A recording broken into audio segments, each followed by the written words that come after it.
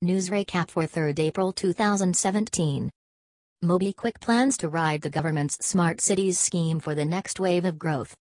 Urban Ladder to roll out smaller retail stores to take on global furniture major IKEA's foray in India. Aditya Birla Fashion is in talks to acquire a significant stake in Indian arm of Danish apparel firm Bestseller. Uber's Indian Research and Development Center contribute to efforts in its self-driving and mapping.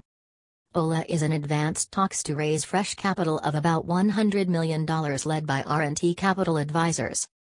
Shyam Srinivasan, Chief Executive Officer of the Federal Bank says digital banking will become more intuitive. SoftBank has abruptly refused a $150 200 million debt financing it had offered to Snapdeal owner Jasper Infotech. Stay tuned for more updates.